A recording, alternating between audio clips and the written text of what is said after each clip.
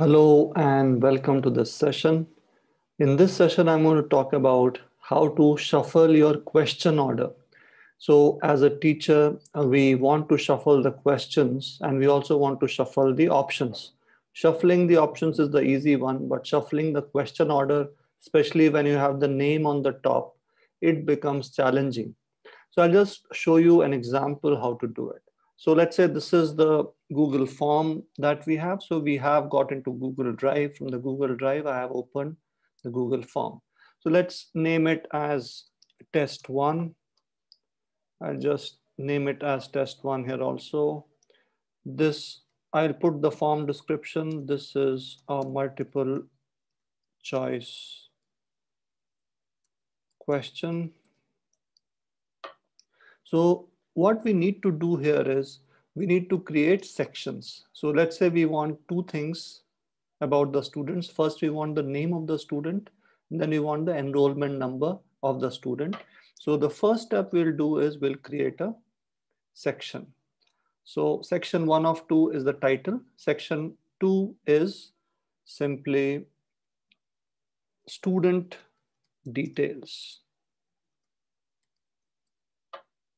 So we'll keep the question as, we'll put the question as, what is your name?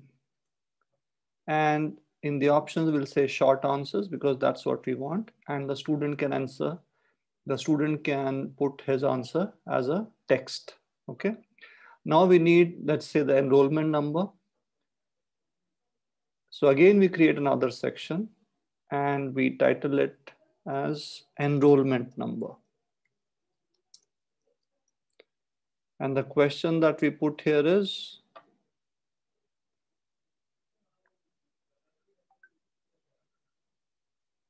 we add a question here. We put the question as, what is your enrollment number? Okay, again, this is a short answer question because we need a short answer for this. Now let's move on to the question paper. What we'll do, again, we'll create a section and we'll title it as question paper. And we'll add a question. We'll just talk about three questions, let's say.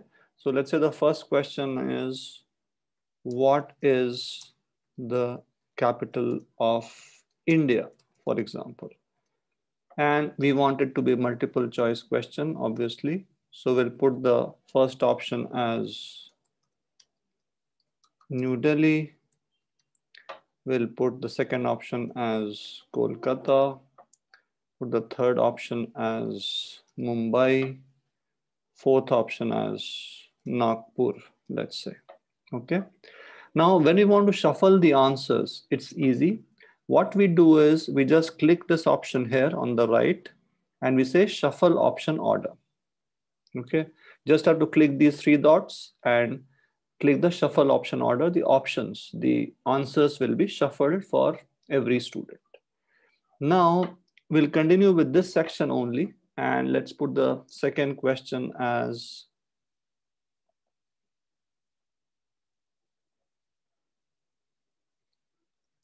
which of the following is not an Asian country? Which of the following is not an Asian country? Again, we'll put India, we'll put Nepal, we'll put Sri Lanka, and we'll put Egypt, for example. Okay. Now I want to shuffle the answers. Again, we'll click these three dots and say shuffle option order. Okay. Now we want to shuffle the order of these questions. So what is the capital of India will come first for some students and which of the following is not an Asian country will come first for some students. And we say it's a required answer. Okay, so we click this option. Now what we need to do is we need to go to responses and we need to go to the settings option and we'll say make this as a quiz. So first thing is we need to make this as a quiz. Okay. And then in general, we can ask for the email addresses for the students and we can restrict to users in one organization or we can limit to one response. They can't submit multiple responses. In the presentation part, what we do is we just say shuffle question order. We click the shuffle question order and mind you in this only the question order in the third section where we want it to be changed will be changed. It won't change the order of name and enrollment number. That order will remain the same.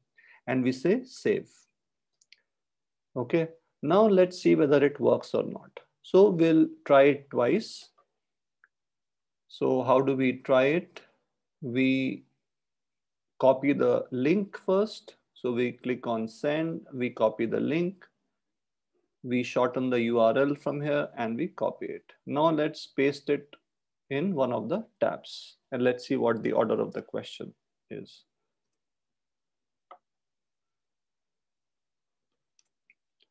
So here's the question paper that we have.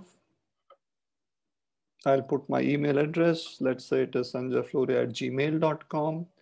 Then next, I will put my enrollment number. I'll put it as 678 and say next.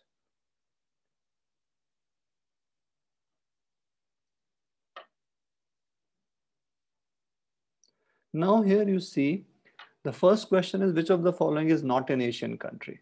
If you remember in the original form, my order was reverse. For me, the first question was, what is the capital of India? The second question was, which of the following is not an Asian country? If you want, I can show you that.